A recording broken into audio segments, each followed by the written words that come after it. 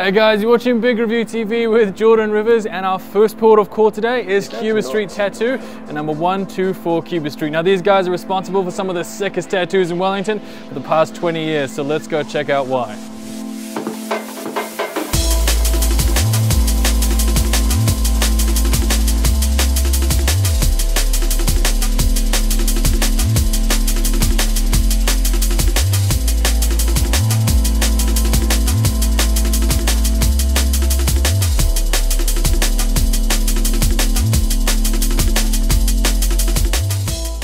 Now it's easy to see why the team down here have had so many repeat customers over the past 20 years. They really know what they're doing and they do it well. So if that sounds like something that you've been looking for, I recommend you come down and check them out at number 124 Cuba Mall in Wellington. You can also check them out on Facebook.